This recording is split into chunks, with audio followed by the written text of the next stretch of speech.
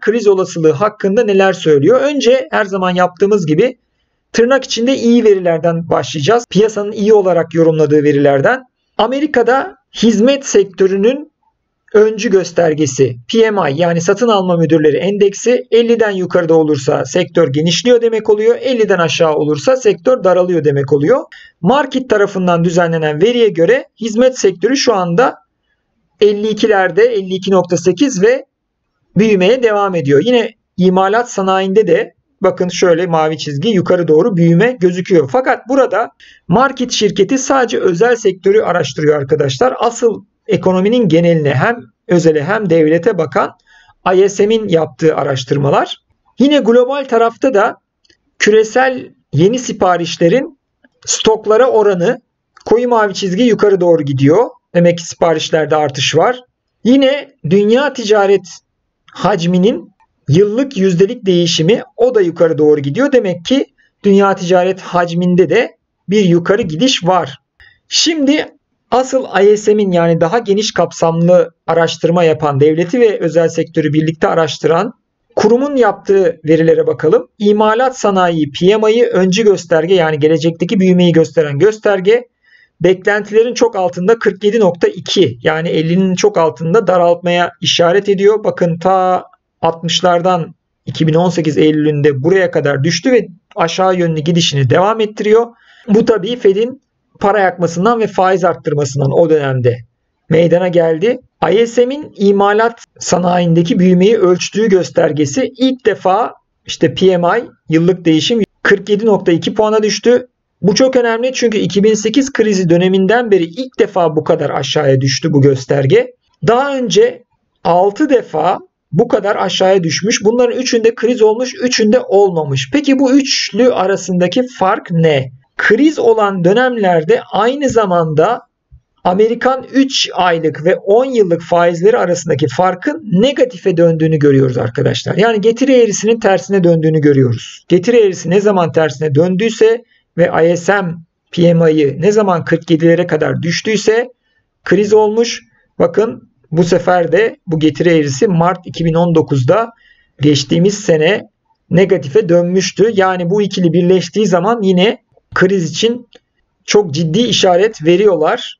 Amerika'da işsizlik düşüyor deniliyor ama gördüğümüz gibi bakın bu imalat bu da inşaat sektörleri son dönemde imalatta ve inşaat sektöründe işsizlikte artış var. Yani asıl imalat yapan ekonomide değer üreten sektörler. Yine Amerika'da demiryolu trafiğinde, taşımacılık trafiğinde ciddi düşüş var. Senelik düşüş %4.8. Bu hafta son haftada gelen düşüş de %11.5.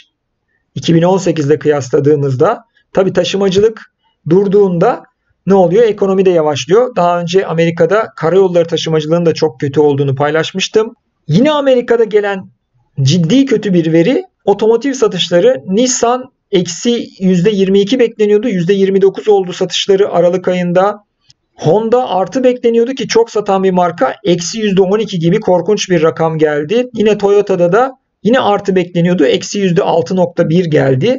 Fiyatta ise beklentiler dahilinde bir küçülme oldu. Amerika'nın toplam otomotiv satışları 2019'da %1.3 geriledi. Eyaletlerin öncü göstergeleri var. Yani gelecekteki büyümelerinin nasıl olacağını gösteren bu mavi turkuaz çizgi eyaletlerin yüzde kaçında öncü göstergelerin eksiye döndüğünü gösteriyor. Bakın ne zaman %20'ye değmişse bu öncü göstergenin negatifliği bir kriz olmuş çeşitli iniş çıkışlardan sonra. Şu anda da biz %18'e gelmiş durumdayız. Bu artmaya devam ederse bir başka kriz göstergesi olacak. New York Fed'in resesyon olasılığını ölçen, önümüzdeki 12 ay içindeki resesyon olasılığını ölçen bir göstergesi var. Modifiye edilmiş gösterge.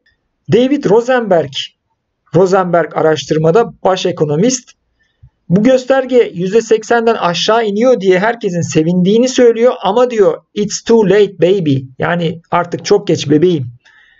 Biraz böyle şakalı bir şekilde çünkü %80'den aşağı düşmesi bir şey ifade etmiyor. %80'e geldiyse zaten kriz oluyor. Diğerlerinde de aşağı gelmiş ama bu kriz olmasını engellememiş.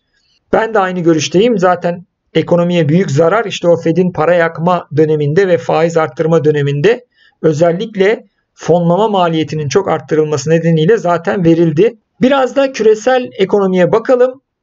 Almanya'da imalat sanayinde siparişler artık biraz toparlanması bekleniyordu ama 18. ay üst üste yine daraldı ve %6,5 gibi yüksek oranda bir daralma oldu. Almanya'da imalat sanayi 2011-2012'de Kıbrıs, Yunanistan falan yanarken bankacılık krizleri varken bile bu kadar kötü durumda değildi arkadaşlar. Tabi bu durum Almanya'nın bir numaralı ürününe yansıyor. Alman otomobil üretimi son 23 yılın en düşük rakamına gerilemiş durumda. 96'dan beri bu kadar az araba üretilmemiş Almanya'da. Japonya'da da alınan bir sürü önleme rağmen ki Japonya Merkez Bankası para basmayı hiç durdurmadı. Sürekli para basıyor. Faizler zaten yerlerde. Aralık ayında hizmet sektörü PMI'yi son 3 yılda görülen en yüksek hızda daralmış. İmalat sanayilerinde daralma olması daha doğal karşılanıyor. Hizmet sektöründe aslında daha olumlu beklentiler var ve gördüğünüz gibi endeks 49.4'e düşerek daralmaya geçmiş Kasım ayından sonra. Çin'de de hizmet sektörü daralıyor ki Çin de bir sürü şey yaptı işte bankaların zorunlu karşılıklarını düşürdü, piyasaya daha fazla likidite vermek için vesaire önlemler almasına rağmen sadece imalat sanayi değil hizmetler sektörü de Aralık ayında PMI 52.5'a geriledi. Global ekonomi için en önemli göstergelerden bir tanesi Baltic Dry Endeksi dediğimiz yük gemilerinin taşıma fiyatlarını gösteren endeks. Bu önümüzdeki dönemde ne olacağını gösteriyor. Eğer gemilerin taşıma fiyatları düşüyorsa o zaman talep yok demektir ve global ekonomi yavaşlayacak, global ticaret yavaşlayacak demektir. Bakın Eylül ayından beri çok ciddi şekilde düşmüş durumda. 2500'lerden 850'lere kadar, 840'lara kadar inmiş ve bütün bu verilerin ışığında daha önce JP Morgan Global İmalat Sanayi PMI'nin yükseldiğini şurada bakın söylemiştik ve bunu iyi haber olarak vermiştik ama bütün bu verilerin ışığında bakın tekrar aşağı doğru bir eğilime girmiş bu PMI'da. Aralık ayında 50.1'e düşmüş, Kasım ayında 50.3'müş ve gerileme var. Haftanın önemli haberlerinden bir tanesi de şuydu arkadaşlar. Ben Bernanke eski Amerikan Merkez Bankası Başkanı ve bu 2008 krizinde Amerika'nın 200 yılda bastığı paranın 4 katını basmasını organize eden kişi Brookings Enstitüsü'nde bir konuşma yaptı. Bu konuşmanın metnini de kendisi blogunda yayınladı.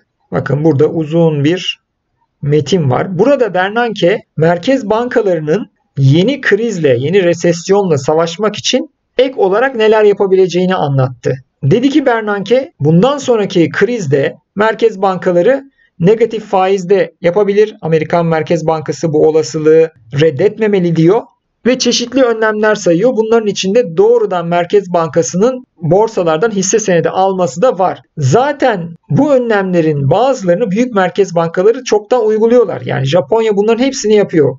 Piyasadan ETF şeklinde hisse senedi de alıyor.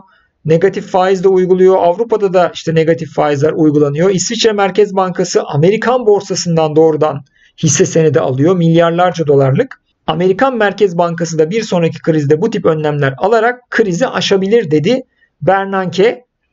Tabi Bernanke resesyondan bahsetti, krizden bahsetti ama 2018 yılı Haziran'ında 2020 yılında bir kriz yaşanacağını söylemişti. O zamana kadar destek yani özellikle Trump'ın vergi destekleri bitecek ve ekonomi bir coyote moment yaşayacak. Yani çizgi filmde Roadrunner'ın kovaladığı Coyote gibi uçurumdan aşağı düşecek demişti. Bu tahminiyle ilgili de herhangi bir güncelleme yapmadı Bernanke. Krizden bahsettiği halde. Yani burada Bernanke'nin hala 2020 yılında kriz beklediğini ve hala 2020 kulübümüzün üyesi olarak kaldığını yani 2020'de kriz tahmin edenler kulübümüzün üyesi olarak kaldığını söyleyebiliyoruz arkadaşlar. Lütfen açın. Kendinize iyi bakın. Hepiniz hoşçakalın.